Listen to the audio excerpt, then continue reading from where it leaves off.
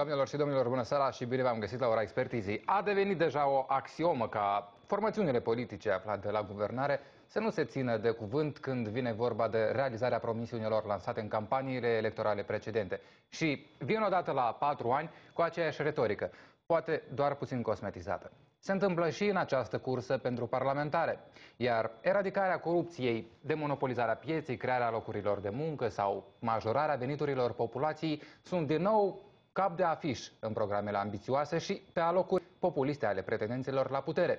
Discutăm despre acest subiect cu invitații noștri din această seară, domnul Ion Târguță, jurnalist, Valentin Tolganiu, comentator politic, Victor Ciobanu, jurnalist și Angela Golațchi, politolog. Bună seara și bine v-am găsit! Dacă e să vorbim despre platformele electorale cu care vin partidele în această campanie electorală și să le comparăm cu platformele electorale din alegerile precedente și promisiunile pe care le-au făcut în 2010 și promisiunile care pe alocuri se repetă, altele sunt uh, noi uh, de perspectivă uh, și, cum spuneam, pe alocuri poate populiste, sunt ei la latitudinea dumneavoastră să, să le calificați într-un fel sau altul. Am observat pe pagina cecului că foarte puține partide și-au făcut publice acele platforme, acele programe electorale pe care ar trebui să le citească electorii, sau mai bine zis cetățenii care vor merge pe 30 noiembrie la vot. Ce spuneți despre promisiunile cu care s-a lansat, s-au lansat partidele în această campanie? Le găsim cel puțin promisiunile, în afară de retorica pe care o vedem, o vedem uh, foarte des uh, la televizor în aceste zile. Poftim, domnule Tărbuț. Eu zic că în această campanie electorală partidele sunt mult mai prudente decât în 2010. Uh, Atunci s-au făcut promisiuni foarte mari și și-au fost uh, pe durata acestor patru ani uh, foarte mult criticate pentru promisiunile care le-au făcut. Amintiți de câte ori au fost criticați cei de la guvernare pentru 500 de euro promiși salariu, care știm bine că nu s-a realizat, iar acum sunt mult mai prudenți.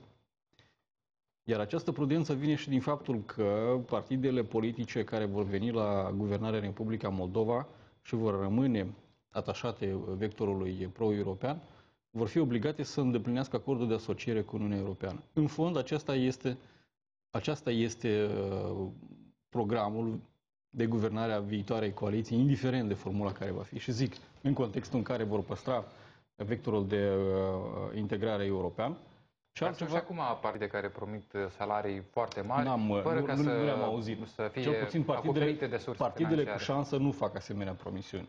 Eu nu am văzut la PRDM o asemenea promisiune, nu am văzut la Partidul Democrat asemenea promisiune. Da, dânsii promit viață decentă, familii, nu știu, de care și așa mai departe, dar nimeni nu va spune sau nu zic, noi o să vă dăm o sumă X de bani sau vă promitem că veți avea un salariu de sunt mult mai prudente pentru că am învățat lecția bă, data trecută. Și nici Partidul Liberal nu face asemenea uh, promisiuni. La noi, uh, în această campanie, uh, dacă vreți, să se caracterizează printr-o luptă geopolitică. Ori mergem în stânga, ori mergem în dreapta. Unii vor în Uniunea Europeană, alții vor în uh, Uniunea uh, Euroasiatică. Și de aici vin și promisiunile electorale. O să Cei care fac... să ne oprim aici, la, pentru că ați, uh, ați punctat o chestiune foarte interesantă și curioasă pentru aceste parlamentare. Între vest și est versus uh, promisiunile electorale. Uităm de cetățeni și ne orientăm pe vectorul uh, extern și mergem astfel în campanie, domnule Dolgan. Într-adevăr, deci vectorul extern sau est-vest este valența puternică a acestor dominantă, zicem, acestor alegeri sau miza partidelor politice, deci care până acum au fost s-au aflat la guvernare și mizează doar ei au, aceste partide au un singur atu în buzunar, deci nu au nimic altceva, pentru că după 2010 încoace nu s-a realizat absolut nimic. Deci doar acest atu îl au, deci vectorul uh, integrării europene. Dar uitați-vă ce se întâmplă în Republica Moldova. Atunci când uh, auzim aceste uh, promisiuni sau zicem lupta, bătălie deci pentru vectorul european din gura celor care sunt departe de valorile europene, dacă să vorbim despre drepturile și libertățile fundamentale ale omului, dacă e să vorbim despre justiția din Republica Moldova, care în niciun caz nu poate face parte deci, din Uniunea Europeană, justiție deci care este astăzi la momentul actual deci a patra de la coadă în lume din, și nu este ceea ce spunem noi aici în spațiul din Republica Moldova sau ceea ce spunem în studiourile acestea, dar este un studiu internațional. Justiția din Republica Moldova se află pe locul 144, deci din lume, din 148 de state.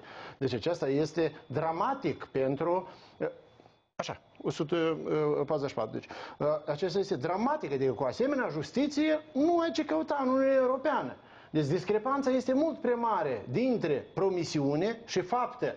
Ori, eu, de fapt, având experiența electorală, nu un singur an și nu o singură campanie electorală, vreau să vă zic că Într-adevăr, în anumite campanii s-au votat promisiuni, dar mai mult se votează simpatii și antipatii față de persoane deci, care sunt în fruntea acestor partide politice. De exemplu, Partidul Comuniștilor, pe lângă faptul că există nostalgie după trecut, este votat pentru Voronin. El este mascota acestui partid. Dacă Voronin pleacă de la Partidul Comunist, nu avem uh, mascotă. Dacă nu ai mascotă, deci se fermițează acest partid. Același lucru deci s-a întâmplat și cu Partidul Liberal Democrat. De fapt, în 2010 a câștigat nu prin Vlad Filat, dar a câștigat prin echipă. Deci a fost o echipă foarte puternică, care a fost scoasă în prim plan, a fost o imagine puternică a 5, 6, 7, 8 persoane lideri, zicem, până la 10 persoane care au fost scoși în prim plan. Acum, nu știu, nu văd niciun partid politic care ar putea să scoată în prim plan o echipă, fiindcă timpul liderilor sau, zicem, timpul oamenilor de a face business, nici în business, deci nici în politică, ă, singuratici nu mai are valoare. Are valoare, au valoare doar echipele. Și iată în aceste condiții Republica Moldova, în această campanie electorală, miza este deci doar acestor partide a monopoliza deci vectorul european Partidul Liberal Democrat, care practic, deci de la ceea ce s-a întâmplat, Vilnius și ulterior, deci parafarea acordului de asociere la Uniunea Europeană, uh, toți înțeleg, deci își dau seama sau zicem că aceasta ar fi opera Partidului Liberal Democrat, așa a fost dat în presă, a fost, așa s-a scris, așa. Domnule Dolganiu, că nu vreau să vă contrazic, e părerea dumneavoastră, dar dacă o să observați, toate partidele care s-au aflat în formula de guvernare au uh, la capitolul realizări aproximativ doar ordinea este diferită, aceleași, uh, uh, aceleași promisiuni pe care le-au îndeplinit aici, acordul de asociere, uh, Atât. aici punct. liberalizarea și punct. multe punct. alte lucruri la acordul de, de asociere, că mai departe nu avem ce, ce puncta. Dar amintiți cum da. se numea coaliția. Coaliția pentru integrare europeană. Deci a, a, aceasta a fost promisiunea cea mai mare a uh, Alianța coaliții. pentru integrare europeană pentru integrare, și da. actual coaliția, coaliția exact. pro, pentru Europa. Dar în titulatură exista această bă, noțiune sau, dacă vreți, vector spre Uniunea Europeană. A fost cea mai mare promisiune, asta au fost și altele mai mici, cu salarii, cu locuri Da, dar ea trebuie să fie, con, nu condimentat, ea trebuie să fie, deci consistența deci, acestui vector european trebuie să se regăsească în reformele fundamentale, deci interne. Asta deja este o altă... Nu este o altă, pentru că, o să vedeți, Uh, uh, decepția oamenilor este mult prea mare. Deci dacă e să ne uităm, chiar dacă pentru că așteptările, așteptările au fost, au fost mari, au fost mari și deziluziile deci sunt foarte mari. Categoric. Deziluziile. Și iată în aceste condiții, eu mă uit, sondajele care, mă rog, iau un punct de vedere separat deci, față de sondajele care se fac în Republica Moldova, fiindcă sunt mai multe elemente care duc la faptul că sondajele nu sunt totdeauna uh, corecte. Că cineva chiar a postat, mi-a plăcut foarte mult, în 2010, când AMN-ul trebuia să ajungă în Parlament cu 12 mandate, dar de fapt n-a ajuns deloc deci, în Parlament. Conform sondajului efectuat de același, uh, aceeași instituție care, care astăzi, zilele trecute, deci a, făcut un, a lansat rezultatele unui sondaj. Dar și în aceste condiții, dacă e să vedem încrederea populației deci, față de guvernanți, vedem că avem deci, o catastrofă. Dacă, să, dacă e să vorbim despre uh, prudența partidelor în această campanie electorală față de anul 2010, de ce atâta prudență? E pentru că eventual nu mai vor să-și asume niște responsabilități, se tem că nu își vor asuma sau, mai bine zis, nu, nu vor putea să-și îndeplinească angajamentele? Mă refer la cele aflate la guvernare. Nu vorbim de celelalte deocamdată. Da, noi putem compara uh, campaniile electorale, dar totuși uh, campania uh, parlamentară pentru alegeri ordinare și cea anticipată, dar în 2010 uh, erau anticipate. Uh, campaniile uh, anticipate de, întotdeauna introduc cu, un specific al său. Um, Dacă e să ne referim în genere la parlamentarele din Republica Moldova, m, într-o, uh, într-un fel sau altul, uh, această, uh, acest clivaj est-vest, el de întotdeauna a fost prezent, doar că în această campanie el este mai pronunțat pentru că la guvernare timp de 5 ani au fost, au fost coaliții pro-europene, ele cu chiu, cu vai, cu greu, cu moțiuni de cenzură, dar au ajuns la parafarea și semnarea acordului de asociere cu Uniunea Europeană, uh, au demonstrat că în uh, condiția când uh, viitorul fiecărei, fiecărei formațiuni politice din coaliție depinde, vor păstra ei integritatea sa de coaliție până la alegerile ordinare, astea care vor fi acum în 30 noiembrie sau nu, depinde viitorul lor politic de mai departe, cel puțin de o durată medie. Și ce aș, aș vrea să menționez, de întotdeauna formațiunile politice în Republica Moldova vineau către alegători cu mesaje – mergem spre est, mergem spre vest. Același lucru se repete și acum, dar cu părere de rău, noi încă nu am ajuns la etapa când toate formațiunile politice vor răspunde la întrebarea cum noi vom uh, uh, micșora procentul de corupție, pentru că cu totul să exterminăm corupția în Republica Moldova în timp apropiat. Trebuie să fim Imposibil. realiști. Este, este o sarcină uh, foarte complicată. Uh, cum, cum vom crea uh, noi locuri de muncă? Cum vom a, ajunge la o anumită acolo sumă pe care noi în campania precedentă am promis-o, dar acum nu o promitem pentru că Uh, într-adevăr facem, scoatem niște lecții din acești ce am, aici. ce am... Eu am zis și la început, marele avantaj a partidelor care s-au aflat la guvernare este că dânsii iau un acord de asociere semnat cu Uniunea Europeană. Este programul lor de guvernare.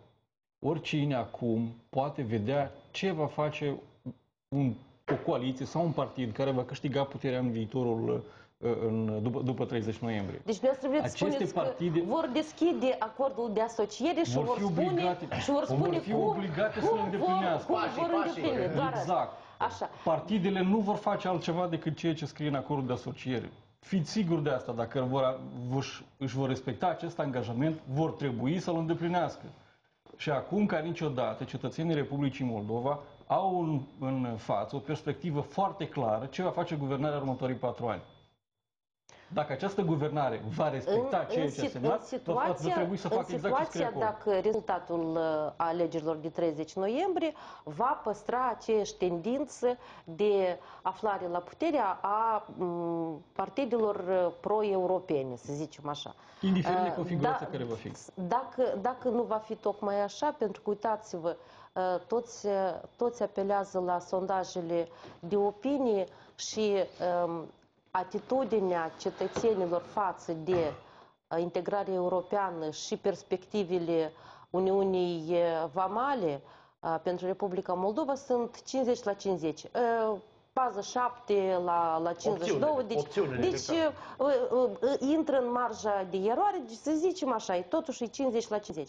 Într-o măsură care acest lucru se explică și prin a, faptul că a, mulți percep integrarea europeană prin prisma a celor care guverneau, guvernau și guvernează Moldova și prin prisma scandalurilor și dezamăgirea în guvernare se reflectă în răspunsul despre uh, viitorul pro-european sau pro-euroasiatic al Republicii Moldova. Iată și asta e o Păi, uh, un moment. Păi da, dacă într-adevăr cei care sunt pro-europeni, deci deschid acordul de asociere și punctul întâi, asta facem, bifăm, bifăm, bifăm, um, partidele uh, care propun o altă viziune, ei, decât aceea că promit viitorul fericit în, într-o altă direcție, nu răspund la întrebarea cum. Iată, asta e marea, marea problemă a noastră, a tuturor Da, partidelor. dar aceasta este, deci dacă e să ne uităm din punct de vedere electoral, aceasta este, acesta este elementul care îi deosebește, care face deci, deosebirea pentru electorat. De fapt, fiindcă foarte mulți din ăștia care spun Uniunea Vamală, ei sunt conștienți. Deci, un om cult, inteligent, care spune astăzi că Uniunea Vamală deci, este superioară Uniune, deci Uniunii Europene, acesta este sau un mincinos, sau lungă muștele.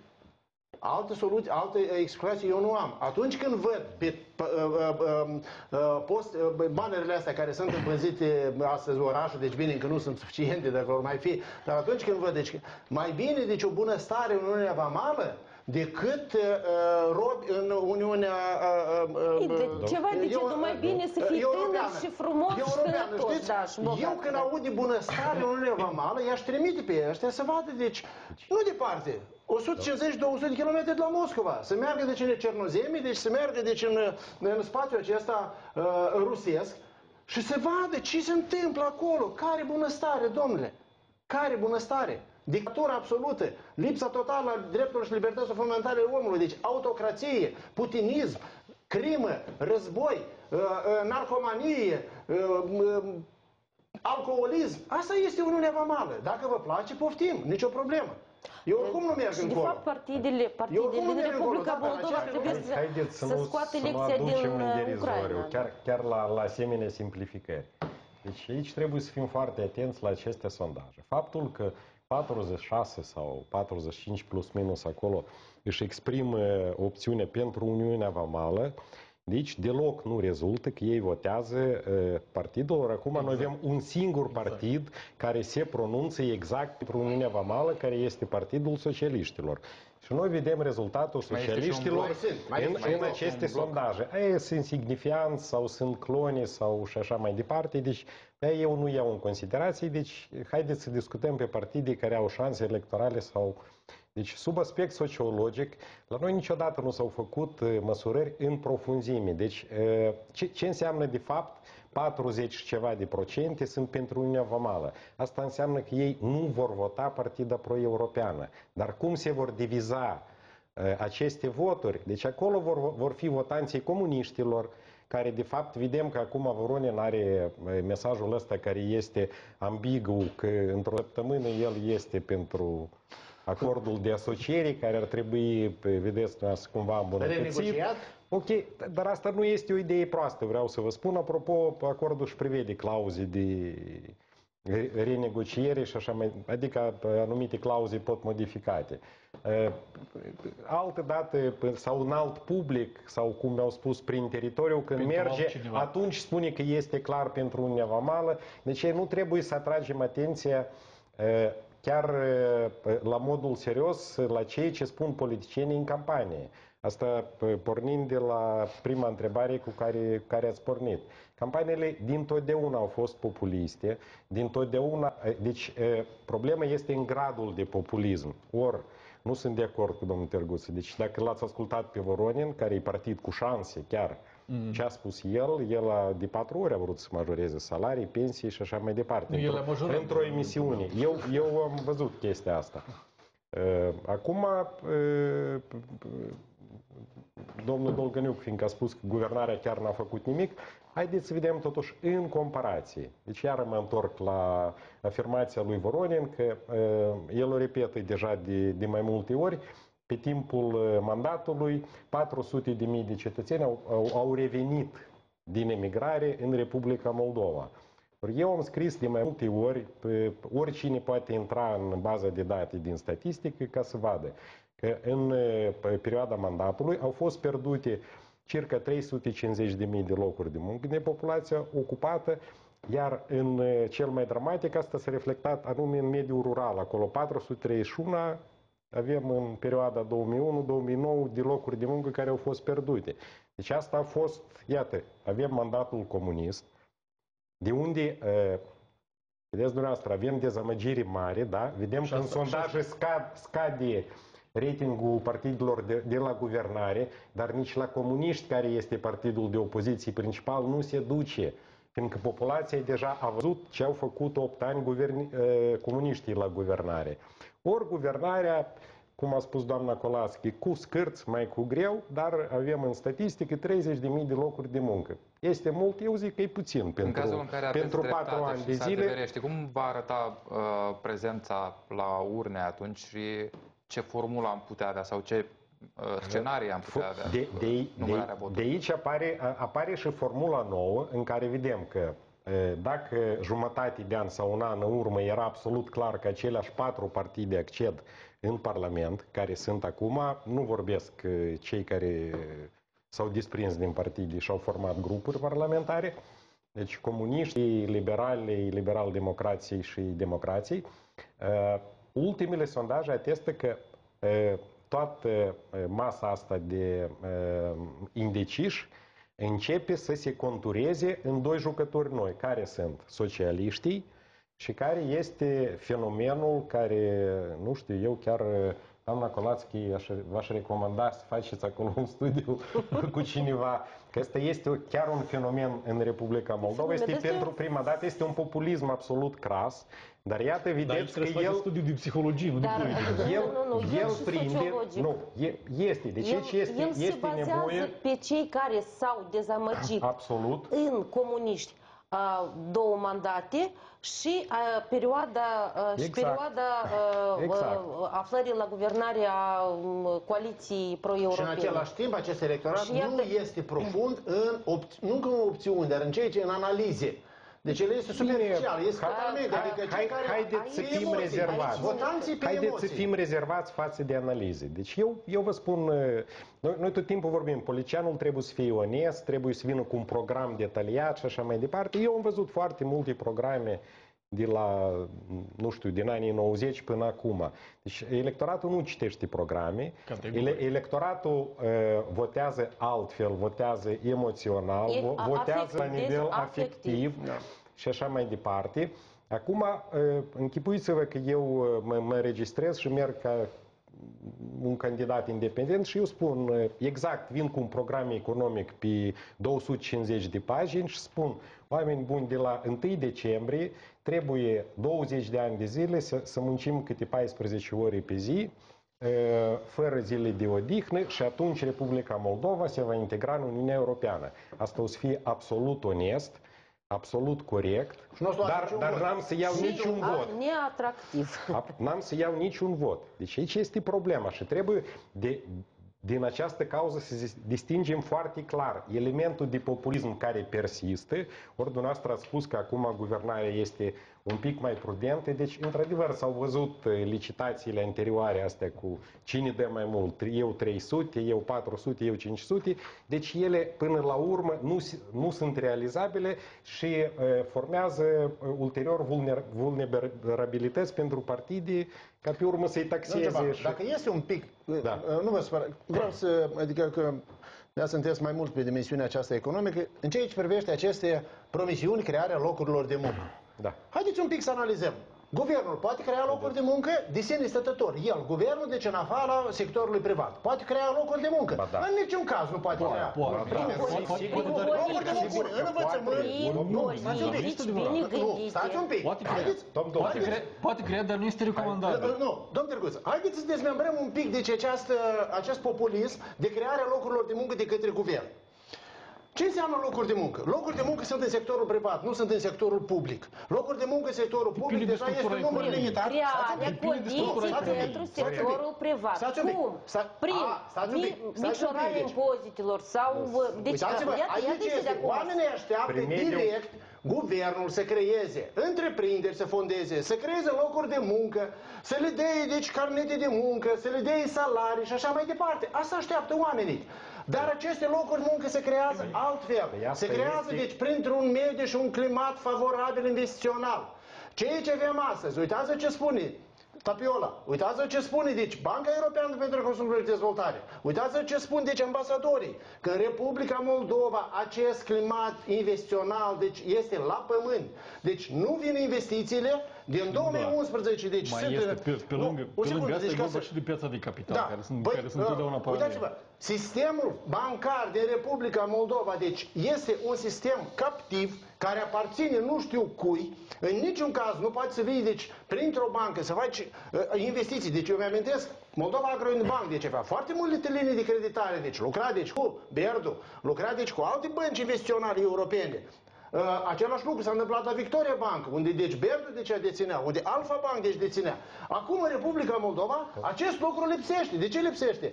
Pentru că mediul investițional, deci climatul investițional, deci este la pământ, el lipsește. Deci proprietatea privată Dați- nu dați- este protejată, dați-mi voie- dar dați-mi de voie ce? să vă Eu unde vreau să contrazic. O ajung? clipă. O Nu. secundă, domn Eu- Tărguț, eu- eu unde vreau, înțeleg. vreau să ajung cu o singură frază doar. Dar haideți să vă Acest lucru contrazic se altfel. întâmplă că în Republica Moldova avem o justiție coruptă care în niciun caz nu Asta protejează este deci, adevărat. se- Asta e Păi adevărat. asta este. Dar stați un pic, Dar eu de aici vorbesc- pornim. haideți, Dar haideți să noi pornim vorbim la altfel. toate Toate emisiunile băncile de din justiție Moldova coruptă. au o groază de bani care sunt gata să-i dea credite pentru dezvoltarea uh, business-ului și nimeni nu ia. Și încă Nu, altceva. stați un pic, nu chiar Ok, așa. Păi, dar lăsați-mă Banca să de spun până- economii, Banca de lăsați-mă să- economii, deci a Lăsați-mă încetat să să mai zic până la capăt. crediteze. Domnul Dolganiu, ascultați. Două săptămâni Noi în avem, urmă a noi făcut avem o groază, declarație. avem o groază de, de proiecte europene în care nu există proiecte, nu există capacitate de absorpție. Exact. Asta, asta este problema noastră cea mai mare. Bun, bani sunt. Guvernul nu poate veni la fiecare și să spună, domnule, uite așa să fac afaceri. Guvernul poate crea, dar guvernul poate crea locuri de muncă în domeniul de stat. El poate crea întreprinderi. Le poate crea, dar după asta trebuie să le privatizeze. Și Să domnul trebuie să le Galiu, vândă, deci, după asta, eu domnule Domnule Tărguț, Tărguț, totuși aici dacă aș este vrea vorba să despre fiu- întreprinderile de stat, uh, am văzut practica ultimelor patru ani. Rentabilitatea lor Nu de este- proastă, eu sunt de acord nu cu este- dumneavoastră, nu sunt dar- rentabile dar- aceste Dar proiecte, nu ar se trebui să privatizează. tratăm- Noi vorbim, Atunci, noi cum vorbim rămâne despre cu capacitatea condițiile? guvernului. Are guvernul capacitate să creeze? Are. Sunt ele rentabile? Nu vor fi rentabile. Sunt lucruri absolut diferite. Domnilor, Dar eu guvernul n-am- poate crea eu locuri vă de muncă. propun Sigur că să este mai nu bine sectorul tratăm privat. atât de Sectorul simplist privat nu poate electorul, atrage, nu poate uh, absorbe cetățeanul banii. Republicii Moldova. De poate ar trebui, dimpotrivă, să avem- să venim cu soluții uh, practice, sau să cetățenii, vină da, partidele cu mai, soluții mai, practice. mai au încă um, bă, principiul ăsta paternalist și ate- atitudinea parte, Exact. paternalist față Care de vine stat, din perioada ea mai, e- sovietică, mai mai există, există. dar dar asta de, caracterizează uh, generația, uh, prece, generațiile precedente.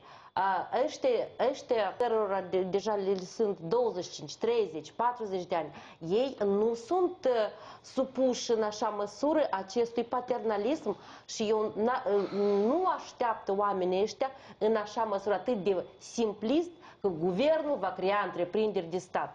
Foarte bine își dau seama oamenii că um, din partea guvernului să, uh, trebuie să fie implementați sau cei care vor la, veni la putere trebuie să creeze acel climat uh, favorabil. Și asta, asta ei așteaptă. Dar așteaptă să li se spună că, iată, ca să obțin uh, X, Y, Z, voi începe de la A, B, C.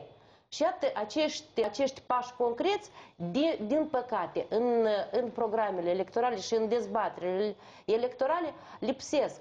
Uh, Tocmai Doamna ieri am, Polaschi, o am să aduc urmărit. Un, o să aduc un mic exemplu, pentru că deseori vorbim despre uh, climat investițional, despre reforme, despre aplicarea anumitor legi, despre crearea Reforma locurilor justiției, de muncă reforma și justiției, spre tot așa exemplu, mai da. departe. Această retorică o cunoaștem foarte bine, dar dacă e să vină un partid care să aibă o expertiză sau cel puțin să meargă să facă un studiu în străinătate. Bună oară dacă e vorba despre, Despre? uh, dacă e vorba despre atragerea investițiilor sau, fel, sau pentru crearea unui climat inva- investițional în Republica Moldova, să meargă să vadă cum e în Statele Unite. E o formulă simplă. Este un e o sistem formulă în, simplă. în, în Vine- Statele Unite este diferit de Vine, nostru. vine un Dar agent economic orice sau om, un viitor agent orice om economic. care vine în, în, și investește într-o țară, în primul rând vrea să știe care este siguranța investiției lui în această Corect. țară și în ce măsură poate el să-și scoată banii după, Corect. după Asta e tot. sau veniturile Exact. și să, le- să le Păi scoată din aici- țara aici respectivă. vorbeam despre- aici este despre vorba, soluții este vorba de practice. sistemul fiscal, este vorba de piața de capital și este vorba despre climatul Și investițional. Sunt- protecția prin justiție. Dar, Și justiția, dar da, în sunt primul foarte- este rând, foarte important. stabilitatea regulilor de joc este Exact, de lungă esențială. durată. De lungă durată și trebuie fiindcă schimbat. Investitorul tot timpul își face, deci nu, nu e Deci așa. planifică ca, ca la activitatea noi de- vorbim de credite care, care sunt de fapt pentru comerț și se iau pentru 3-6 Da. luni sau Da, ceva. exact. Bani, bani repezi la o dobândă foarte De este mare. pe noapte, știți, deci de overnight. ăștia lucrează pe, pe 5, pe 10 ani își fac uh, planul de afaceri. Deci pentru, De-aia siguranța și uh, stabilitatea regulii de joc este esențială.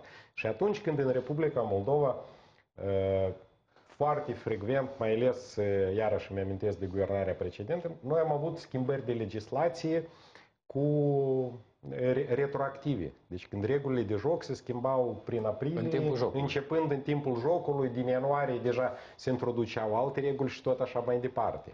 Asta e una. Doi, uh, dreptul la proprietate.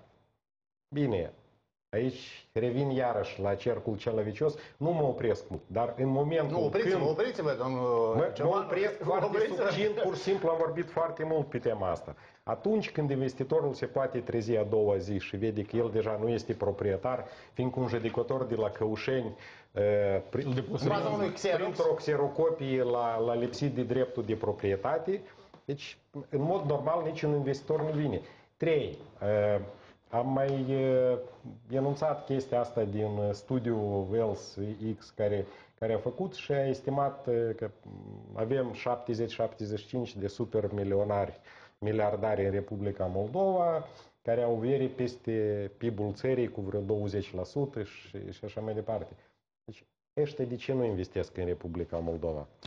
Deci dacă ai noștri nu vor să investească în Republica Moldova, de ce să fim atât de optimiști și să ne așteptăm că trebuie să vină cineva străin uh, să investească? Și atunci ajungem în situația când uh, fie vine unul uh, atât de mare sub uh, umbrelă politică cum a, a venit Orange Voxtel anterior uh, cu vizita lui Chirac uh, Da. și întâlnirea cu Lucinski, fiindcă un France Telecom nu-l poți uh, muta din loc, să zicem, uh, așa chiar uh, cu toate regulile moldovenești, fie vin tot felul de, m, ca să zic, aventurieri. Îmi amintesc că în orice campanie apar proiecte de astea fantasmagorice, ba, construim orașul Soarelui lângă Bacioi, ba, facem Formula 1 lângă uzina de calculatoare acolo, până la urmă unde mor. Și în fiecare mor- campanie pentru, fiecare pentru campanie locale vine câte un construim investitor o, cu o uzină de miliarde, ardere a deșeurilor. care până la urmă ni- niciun fel de mai ales miliarde pentru nu Chișinău e există. valabil. Da, exact, Și aici pentru trebuie să locale. fim foarte realiști și e, să ne bucurăm că avem un uh, Draxel Mayer, că avem uh, un Gebauer care a venit, da, Care care, de altfel- care, care creează puține locuri de muncă, relativ puține, dar totuși este un, un pas. Domnul Ciobanu, și dacă ăștia... Dar vorbiți și de problemele Draxelmaier, Da. care le-a avut. Nu, nu este tema discuției de azi. Nu, Sigur dar că le asta are. este. Și vorbiți și despre asta probleme, i-aș- și pro- vor- probleme concernului Gravi din Austria. Când îl trecea așa de mânică pe domnul Filat. E și cu acolo cu Gravi. Deci când... De ce Exact. nu-i dați uh, licența Exact. înapoi?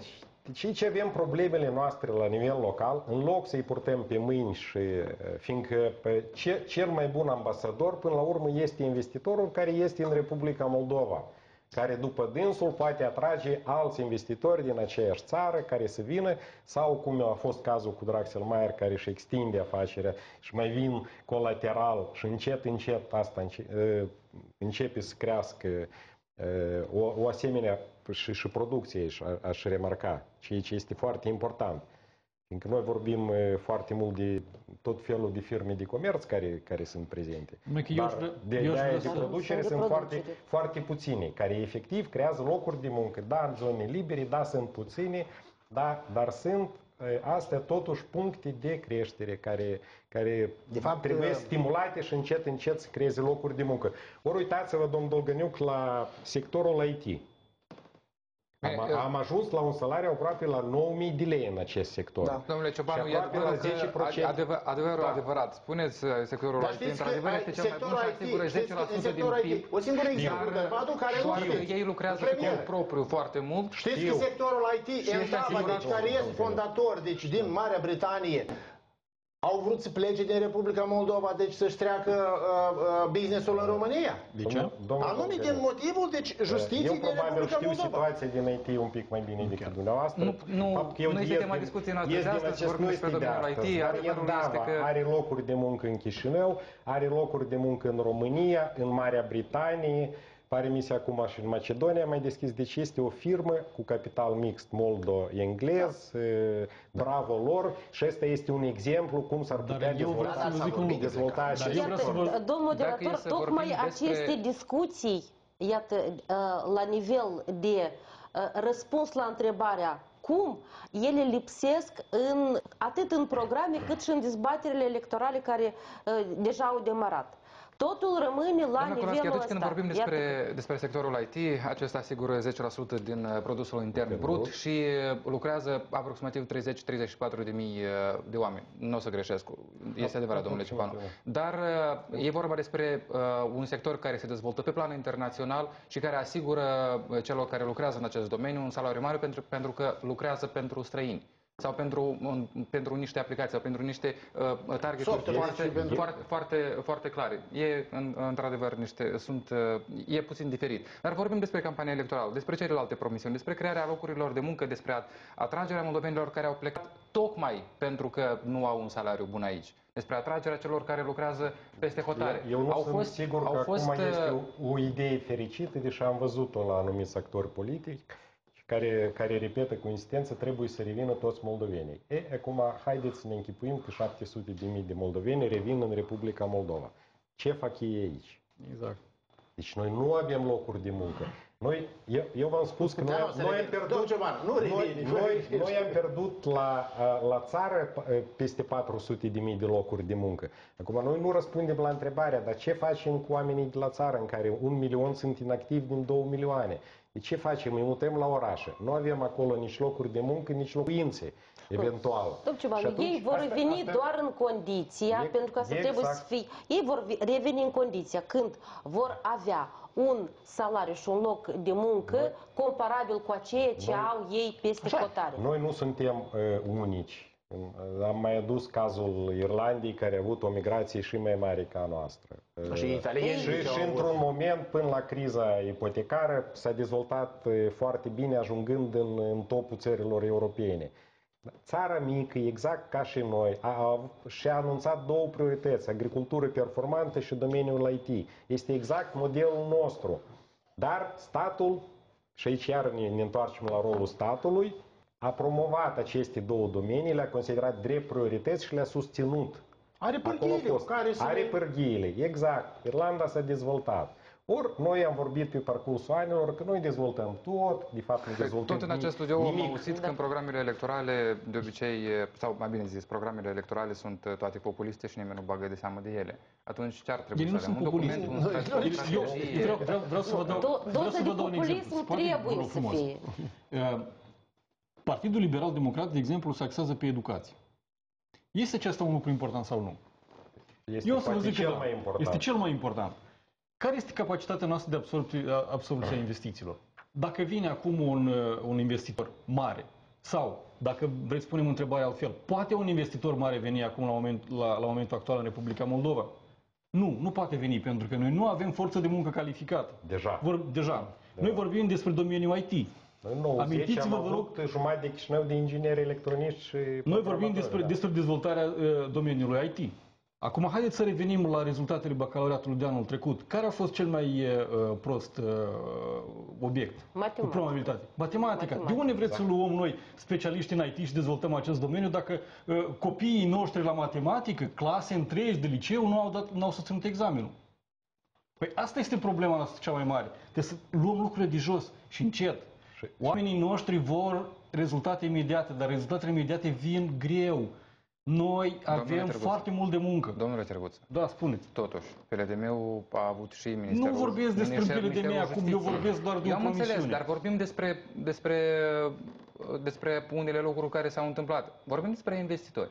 Investitorii vin, dar nu găsesc o justiție care să le asigure, care, care să le protejeze Eu investițiile. înțeleg că asta este problema noastră dureroasă, dar până la justiție nu avem probleme mult mai Justiția, mari. Până la urmă nu ține doar de Ministerul Eu sunt de acord Justiției. cu dumneavoastră, iarăși revin. Justiția este un domeniu foarte Da, important nu. și îl vom rezolva. Investitorii pot veni și cu forță de muncă calificată, deci aduce. Da, chinezii Pot vin. veni. Chinezii nu, vin. Pot Sunt de acord cu veni. dumneavoastră. Pot veni. Nu După aia vin. nu mai scăpăm. Pot În afară, veni. în afară de chinezi nu vin Pot. cu forță de muncă. Pot veni, domnul Terguță, deci. Pot. Pot veni cu forță de muncă, deci cu brațe de muncă calificate. Vin Da, aici, a- dar apropo, ei da, nu cum au găsesc construit aici. acum Uitați-vă, drumul ăsta de la cel care Său. dă girul și vreau să să recunoaștem acest lucru. Cel care de girul unei investiții într-o țară este, sunt niște reprezentanți în niște instituții internaționale care se numește Banca Mondială și Fondul Monetar Internațional, care nu stau ei aici doar de ce pentru a face politica monetară a Republicii Moldova sau pentru alte lege. Dacă de girul Banca Mondială, dar uitați care sunt declarațiile deci, reprezentantului de țară deci, uh, în Republica Moldova Băncii Mondiale. Care sunt? Sunt favorabile investitorilor sau nu sunt favorabile? Haideți și eu atunci, să vă contrazic. Și atunci, puteți să Haideți mă să contrazic. contraziceți, dar eu știu, deci, Nu, că aceste nu, lucruri vă dau un exemplu se doar. spun în surdină, ele nu se spun deci Vă pe dau un piață. exemplu. În Republica Moldova și-a deschis zilele trecute reprezentanță Banca Europeană pentru Investiții. Berdu, da. BI. BI, da. BI. Și întrebarea a fost foarte clară. Riscurile sunt mari în Republica Moldova și a zis, pe noi nu ne interesează riscurile. Există. da. Cum? Este, este declarația acestui domn Păi, care nu uitat cu numele. Nu, deci, dânsul deci spune- doamnă, în primul rând, a fost care este de, director de, care a venit aici de la, de la Nu, BI. Hai lăsați-mă să dau Deci- citatul nu, până la nu, capăt. nu, și a Dar spus vă dau, că... vă dau citatul până la capăt. Zice, riscurile nu interesează. Oportunitățile sunt foarte mari. Republica Moldova va înregistra uh, uh, o, o dezvoltare în următorii ani. Am citit diferite lucruri. Nu, exact așa știe. La diferite Eu sunt de din acord că diferite justiția este o problemă în Republica instituții din Moldova. mass media. Dar există și o altă multe alte detalii. Cred că Noi ai Cum? vor- vorbim Da. de justiție pentru că, într-adevăr, justiția este o problemă uh, și anume acest lucru a fost uh, foarte criticat de toți oficialii. Și va fi europeni, criticat de în peste, continuare. uh, De peste Pentru că au Atlantic și așa pentru mai ce? departe. Pentru că au pentru ce? Pen- a- Adevărat. Dar Ministerul Justiției s-a ocupat, înseamnă că este un eșec.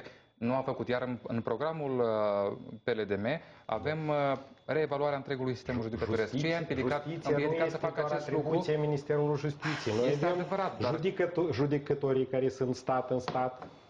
Exact, Noi o avem putere procuratura separată. care rămâne nereformată și până acum tot se discută să rămână cu pavani Dar sau, sau fără Deocamdată pavani. nicio formațiune n-a propus o modalitate Deci- ca să facă ca ramura justiției, dacă puterea executivă, dacă puterea legislativă, fie chiar și dacă doar teoretic depinde de uh, cetățean, uh, ramura uh, a treia, justiția, Zero.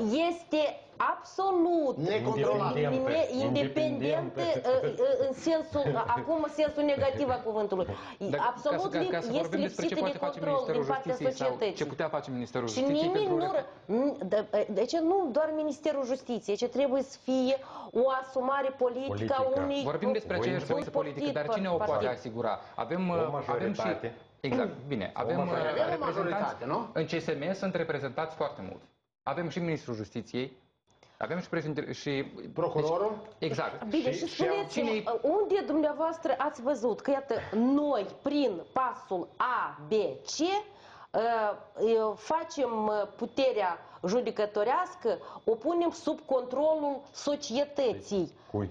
Da.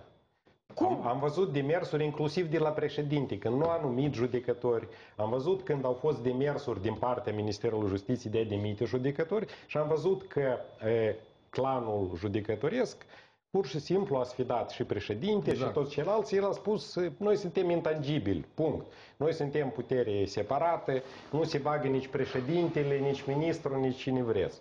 Dar ați văzut Deci, vreodată în ce în măsură- CSM Ne ca mai să vorbim existe de critici cetățeni. În În ce ședințele măsură lor? Parlamentul Eu- poate influența lucrurile când Stați dânsul un nu pic. poate demite Și- și procurorul atunci, general? Și atunci Exact. stăm în fața și uh, justiția este o Unui vacă cer. sfântă?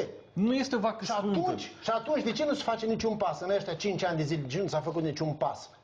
Nu este, dacă nu este vacă sfântă, atunci deci Vă- politicul trebuie vă să, se, spun- să, cre, să, să, să modifice legislația. De ce președintele nu s-a adresat ca să modifice legea atunci când el a refuzat, propun, deci, uh, uh, să, prin decret prezidențial, deci să-l numească pe cel care este președinte la judecătorie Rășcani, iar a doua oară CSM-ul a insistat ca să fie numit, el de ce nu a venit cu o inițiativă legislativă în fața Parlamentului, deci ca să modifice uh, uh, modul de numire a judecătorilor, de exemplu, să fie în fața Parlamentului, cum în, do- în 1990, 91, fiind în primul Parlament. Deci, vă spun sincer, deci era o responsabilitate, fiindcă oricând nu era o singură persoană de care depindea, nu era un clan, dar era, deci, votul Parlamentului, deci, care numea judecătorii. Și atunci, nu mai era o majoritate, deci, uh, că se știa cine și uh, cât a furat și ce face. Deci, Vreau să Bine, vă în cazul- întreb în cazul în altceva. ăsta- condițiile când Domnul justiția... Dolganiuc, exact în felul ăsta la noi să alegi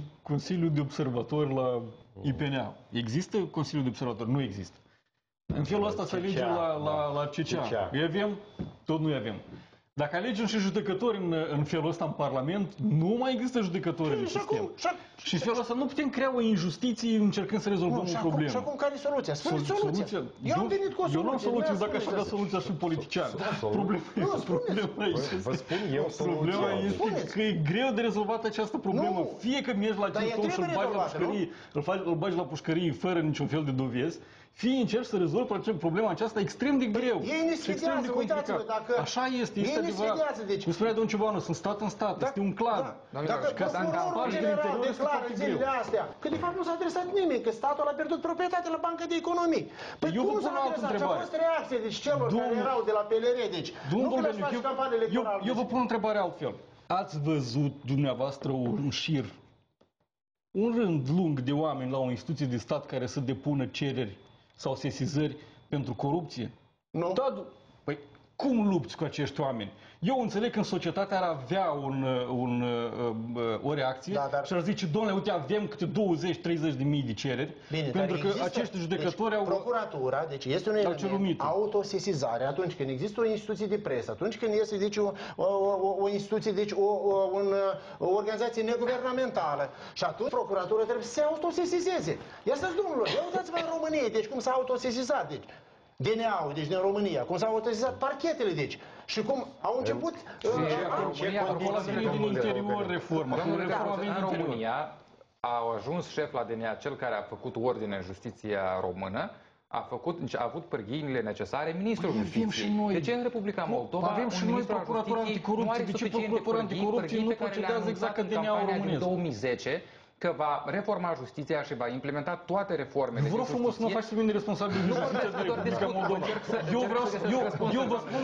vă pun exact aceeași Dar întrebare. De avem ce, aceeași- ce- de același ce punct, procuratura doar noastră nu conștientizat, reacționa ca reevaluarea DNA-ul? sistemului jucă- judecătoresc de Republica Moldova. Avem același punct. Situația din justiție nu s-a schimbat, poate s-a înrăutățit. S-a răutățit încă. Deci, în primul rând, în primul rând, deci, problema numărul unu este partajarea politică a acestor funcții. Nu competență, Adevărat. nu onestate, Adevărat. nu moralitate, dar partajare politică. Și uitați-vă ce ce avem, fiindcă nu vreau să denigrez și nu vreau să spun. Uitați-vă la corpul legislativ. Ați avut posibilitatea și ocazia să vorbiți cu diferiți deputați. Spuneți-vă, rog, deci de nivelul și gradul lor de pregătire, deci pentru a fi acolo și a ocupa acest fotoliu. Vă dați seama, eu nu vreau deci să ne Pentru că noi nu avem responsabilitate politică am pentru vorbit, actul de am vorbit guvernare. și eu, deci cu mulți Dacă dintre noi am ei. avea Uitați-vă, responsabilitate- deci acești unii dintre miniștri care apar în fața ecranelor și la televiziuni și uitați-vă că îți cad urechile atunci inepțiile deci, care sunt declarate de către ei. În sistemul judiciar, au fost atâtea declarații că un judecător deci nu este capabil deci ca să scrie o hotărâre de judecată într-un limbaj uh, uh, corect. Eu nu vorbesc deci perfect, fiindcă nici noi nu vorbim perfect, dar într-un limbaj corect. Și atunci când un judecător deci nu cunoaște limba, că atunci când nu poate să scrie, cum poate deci el să facă trimitere? Spuneți-mi, vă rog, cum se explică faptul că judecătoarea declară n-am observat în codul penal articolul care uh, îmi interzice ca să uh, elibereze în arest preventiv acest traficant de droguri. Spuneți-mi, vă rog, cum? Domnul Dolgăniuc, deci Păi, aici- în cazul ăsta trebuie să haideți vină un alt vorbim, procuror asta, care e, să- asta e tot permisiune. Eu le-aș ierta toate greșelile gramaticale care le-ar scrie în hotărâri. Dacă ar fi competent, Da, cel puțin. și- suntem pe final de emisiune și o să încerc să facem și o rundă de concluzii. De ce eu să nu o să vorbim despre ce ar trebui să, fac, să facă partidele, dar dacă există astăzi partide lansate în cursa electorală care pot face ceva pentru cetățeni, care pot schimba și care vin cu un program pe care își îl pot asuma, astfel încât peste patru ani după alegeri să spunem că da, am putut uh, cel puțin un peste 50% uh, și-au îndeplinit promisiunile. Cu cine începem? Domnule Tărbuț, vă rog. Eu, încă o dată, repet ceea ce am spus și la început. Aceasta este cea mai ușoară alegere din toate pe care le-au făcut până acum moldovenii. Orice partid care va veni la guvernarea Republica Moldova și va menține cursul european, va trebui să îndeplinească acordul de asociere a Uniunii Europene. Și dacă la sfârșit de mandat, peste patru ani, Republica Moldova obține statut de țară candidat la aderare, înseamnă că aceste partide care vor obține mandatul acum la 30 noiembrie și-au îndeplinit promisiunile. Domnule Lăbune. Punct. Eu am o singură opțiune în această situație care s-a creat în Republica Moldova. un partid politic extraparlamentar cu vector european care va duce la bun sfârșit sau va iniția și va duce aceste reforme, că sunt dureroase pentru guvernare, nu sunt dureroase deci pentru cetățeni. Pentru toți. Domnule Ciobanu, poftim. Bine, pă, opțiunea ar putea fi bună dacă am avea asemenea partide cu șanse.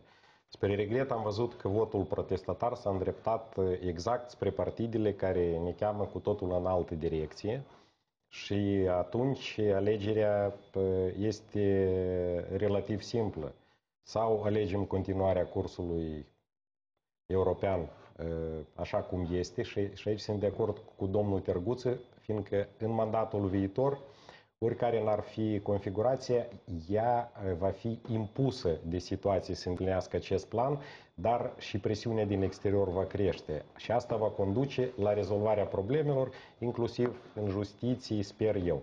Doamna Covas. Da, poate să, presiunea din exterior, într-adevăr, po- poate un pic așa să ne, Așa și să în ne România s-a mobilizeze, întâmplat. să ne mobilizeze și speranța că și o presiune sănătoasă a cetățenilor.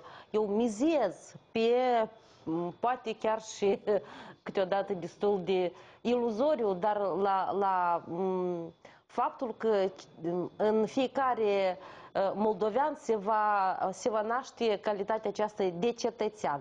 Vă mulțumesc, vă mulțumesc Da, doamnă da. Colaschi, doamnelor și domn- domnilor, atât pentru astăzi. Ne revedem mâine la ora 12 în cadrul campaniei Europa Te Aștept. O seară bună, vă doresc toate bune!